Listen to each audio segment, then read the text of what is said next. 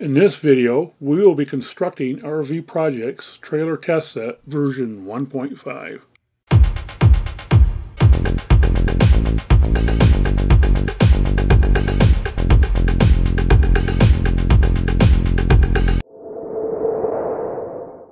So what is a trailer test set? And what is version 1.5? Simply, the trailer test set is a means to mimic the tow vehicle when connected to a 4 or 7 pin trailer. Essentially, it can perform any function of the tow vehicle and can assist in installing or troubleshooting trailer wiring. Version 1.5 is one of three different trailer test sets designed by RV Project. Version 1.5 can be used in a standalone configuration or with version 1.0 of the trailer test set. A video has been published showing the differences between the test sets and I will provide the link here. So let's go through the basic functionality of it. Since we don't have a RV connected, we need a source of power, so we're using the auxiliary power input. And you can see we show we're getting 12 volts. Reverse lights, that's the backup BU. And then a taillight marker, there's the taillight marker. And then we have the right turn, then left turn, and then finally hazard. We have left and right blinky, and then we have brake. And you can see that when you brake, the left turn and right turn light are on, which is what should happen. And then if you go to say right turn, you hit the brake, then you can see the left turn is on solid showing the brake, right turn still blinking, which is what you would expect. Also, there is a project website for constructing the test set at rvproject.com, and a link will be provided here as well. On that webpage, you will find a construction document, download files for the front panel, and for the 3D printed parts and other information. The construction document includes a schematic, a bill of materials, and a step-by-step -step set of instructions and wiring diagrams.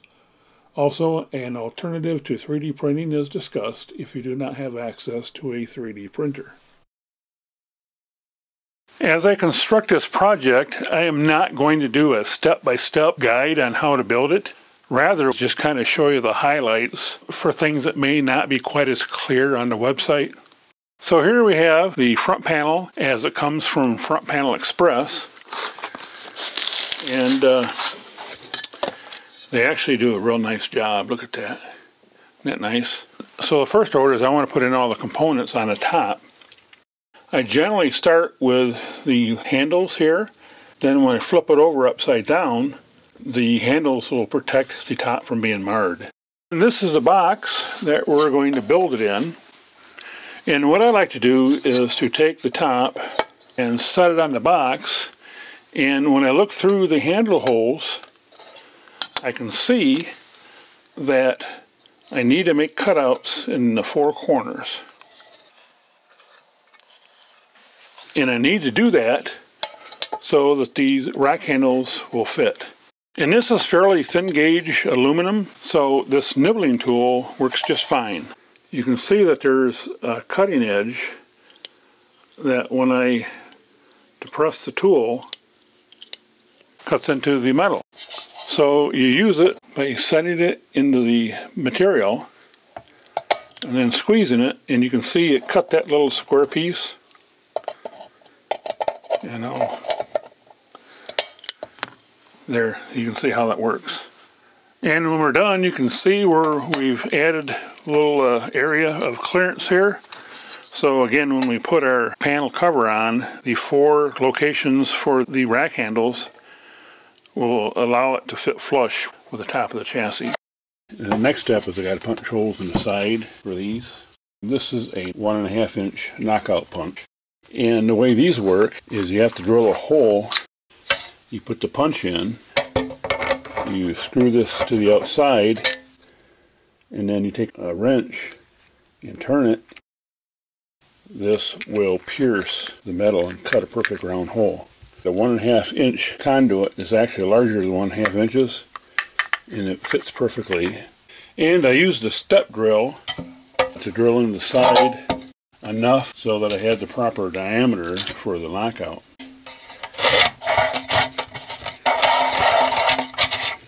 They're not cheap. They're around $35. Well, it's just a matter now of tightening.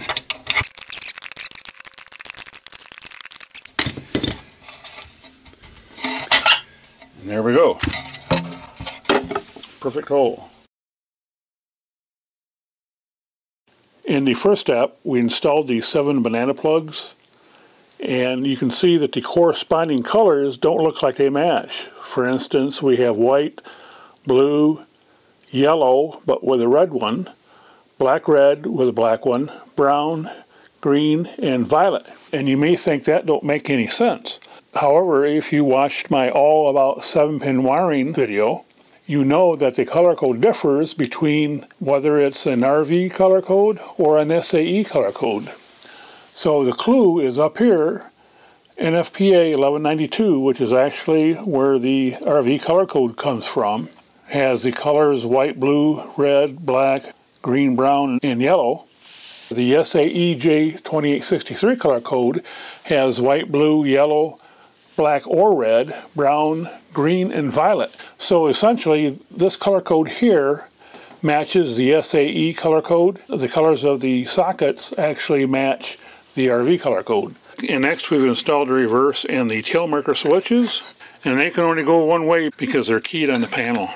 Next, we want to install the turn signal switch, and I recommend doing a 3D print of a wafer, and if you don't have this wafer, you can probably make one out of a piece of plastic, but there's a notch here, and this wafer puts the switch at the correct distance.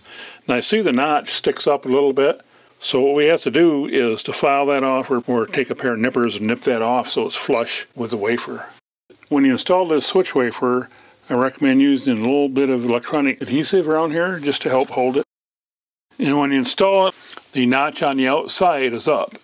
And then for the brake switch, we have the push button switch itself, a switch guard, and then the switch cap. And the switch also comes with a nut that I like to use because that makes the cap fit more flush. And there is a notch in the bottom here, so the switch only goes one way and then we put the guard on. When you look into the end of the cap, it should be flush, and then we just snap the cap on. And then we have these little clear bezels, I don't know if you can see that or not, that snap into the front panel here. And I just have one more to do. Like that. And then we will install the LEDs from the backside. To make the wiring task a little bit easier and to give the LEDs a bit of mechanical support, I came up with a small circuit board that basically has the current limiting resistors for the LEDs and several diodes. It's surface mount, but you should find that it's fairly easy. And just follow the document on constructing the test set to know where to place these parts. And we have the test set here on the back side. And the way this works is that the circuit board simply fits on there and the LEDs go through the circuit board. And you may want to test the LEDs to make sure you got the right colors because at least if you have the ones like I have, the clear ones. And the easy way to do that is to get a button cell such as this CR2032 or 2025. And this is a positive side and this is a negative side. And this is easy for testing LEDs. The short side of the LED is negative, so simply place the LED across the button cell like that, and you can easily test it. You don't need a current limiting resistor that kind of self-limits its current. And basically you just press it in until it snaps in place. And these can fall out, so just be aware of that. And then we'll simply populate the other slots the same way with the short lead to the right when you have the panel oriented like I do. Then again, just double check everything, all the short leads are to the right. And then as we put the circuit board on, we start at one end and just start feeding the LEDs in one at a time. And what I want to do is make sure that this board is parallel to the front panel. Our next step is to mount three relays. These are single pole double throw and this is a electronic flasher and a barrier strip. We want to mount those in the bottom of the chassis. The easiest way that I found to mount these, I 3D printed a little bracket and I'm telling you, if you don't have a 3D printer and you want to do projects, you owe it to yourself to buy one. And I do have the STL file for this on the website. If you don't have a 3D printer, you could use double-sided tape or what have you to stick these to the inside of the chassis. The way this works, I actually have a little interference fit. They won't slide it in and out by themselves. You got to kind of push them in. And you can get them out if you have to.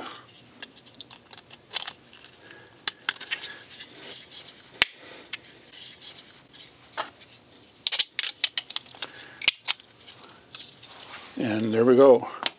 And we're going to want to mount the relays in the top like that. I want to do it from the bottom side. For example, for here, I can ensure that I don't punch this too close to the feet than having trouble trying to put screws in there.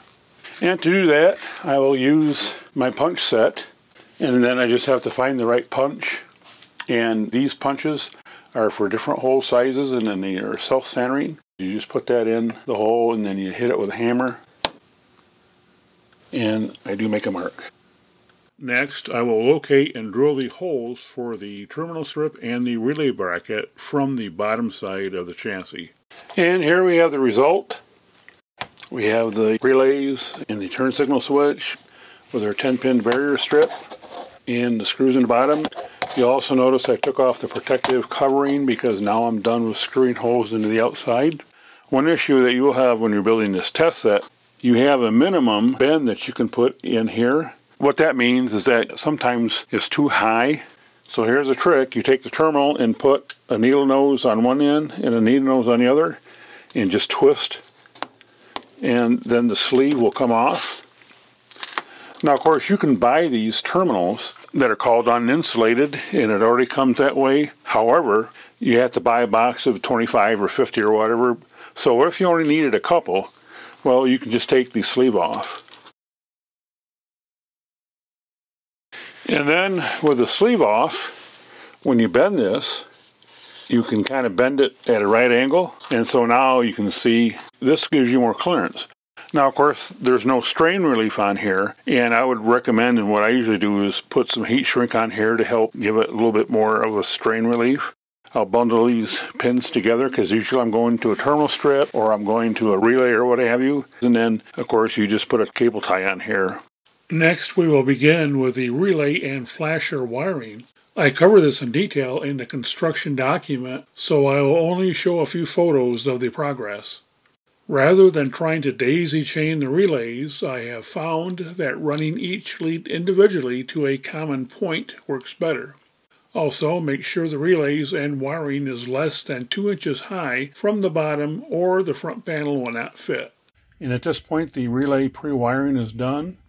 There should be one connection on the relay that is not connected to anything if you've done it right. And I show here how close the parts are to each other, so ensure you maintain that 2 inch height limit. And finally, the chassis is pre-wired ready for the relay module. Well, at this point, we're ready to begin the final assembly. And one thing I want to point out is that in here you can see that some of the terminals on this strip are underneath this connector, so it's going to be impossible to get to them. So what you'll have to do is to unscrew the connector, back it off a little bit, and then you can get to the terminals. And also try to route these things as tightly as possible, otherwise you're going to get too much stuff in here and it's not going to close properly. Well, we have the final assembly, and it kind of looks like a mess, maybe a little bit, but there is some organization to it. You don't have a lot of extra room in here, so keep these wires as short as possible when you put them in. And these are Neutrik PowerCon connectors, and they're kind of neat. Install them like that, and then turn them, and it locks. Then to release it, you push back on it and turn it back. It'll come out. The simplest test consists of connecting the trailer test set to a RV having a 7-pin connector and internal battery. Nothing else is required. If the RV does not have its own battery, you must use the external battery cable. The limit of the brake current is 20 amps. Given each brake consumes about 3 amps, this should be sufficient for a triple axle trailer with 6 brake mechanisms. With the addition of a 7 to 4 pin wiring adapter, the test set can also test 4 pin trailers. However, the battery cable must again be used to supply power. Typically, the 4 pin configuration consists of left turn, right turn, and taillights. The fourth wire, of course, is the ground wire. And 5 pin trailer wiring configurations can be tested as well, provided you use the proper 7 to 5 pin adapter. A 5-pin configuration adds the backup circuit to the left, right, and taillight circuits. Again, battery cable must be used. And finally, 6-pin configurations can be tested, again with the correct 7 to 6-pin adapter. I should note that these adapters are common items and can be found in many trailer stores. The 6-pin configuration adds battery and brake circuits to the left, right, and taillight circuits. Therefore, the trailer may or may not supply power to the test set so obviously, the use of the battery cable is dependent on the trailer having power. In this demonstration, I have hooked up a set of taillights and we have the 4-pin connector and then we have the adapter that is a 7-pin to 4-pin adapter and then we will turn the power on. Again, we get the power indicator and we'll turn on the taillight marker lights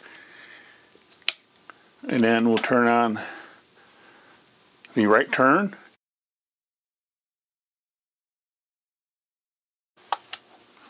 Left turn.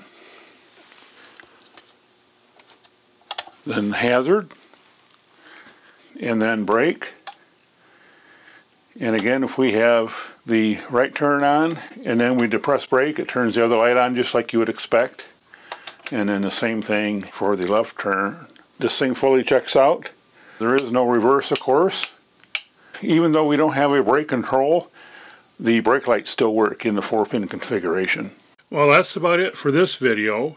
And as soon as the weather gets better, I'll go out and connect this to the RV along with test set version 1.0 and show you more of an in-depth explanation of how they work together.